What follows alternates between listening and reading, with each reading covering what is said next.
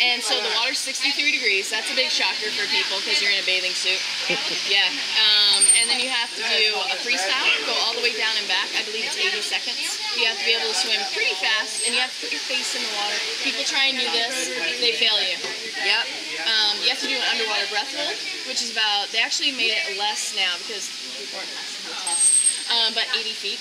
But this is pretty fun. It's almost the entire length of that pool, underwater, one breath.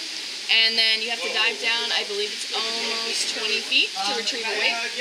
And they took out, there was a platform dive, a six foot dive, to see if you had good diving form. I think they took that out. It's been a while since I've taken it. And then I know you treaded water for five minutes with your hands up. And then they give you a microphone and expect you to, you're out of breath, but be able to talk. And yeah, yeah so it, it does eliminate about 80% of applicants. Yeah, so, yes, it'll do it. Yeah, if you don't have good form, you're not going to make it.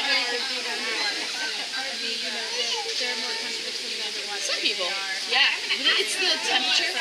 It's the temperature that'll do it. Um, it does take your breath away in salt water. You know, no goggles, no fins, no nothing like that. So uh, a lot of people, it's the underwater. It's the freestyle in the underwater. The other elements are pretty easy. But it's worth it. Definitely worth it. And same father as that guy as well. Yeah, that's what um,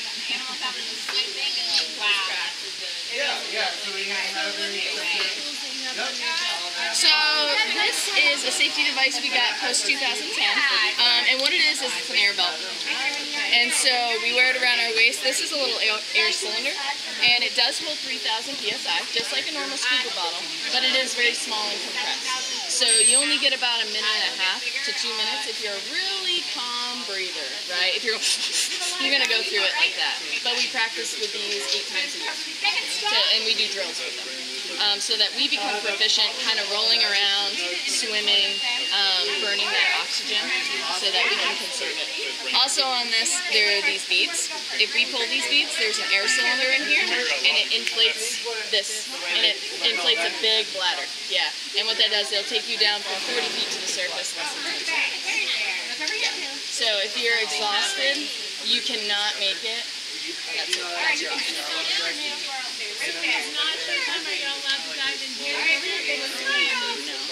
Only in our medical pool do we do any kind of water descents. What that means is if someone were to run down the stadium, jump in that pool, these whales would know how to behave. Um, we're not so unique of being out of the water that they won't let us out of the water. Um, so we practice that. Objects, people, things like that. And then they just have to be able to go to a safety position out of harm's way so we can retrieve that object from the water. Yes, we practice drills all the time. Yes. Plus, a lot of our whales, except for the two youngest, did water work. So they have very good water etiquette, which is great. Um, it's something that we can kind of um, look back on, and we can help our younger whales kind of mimic that. Oh yeah. They've been there. Yeah. Yep. Their water is 58 degrees. He's been at this for 24 years. Yeah, yeah, he's 26. Um, he actually was at a Canadian park. That's where he was born. And so when that park shut down,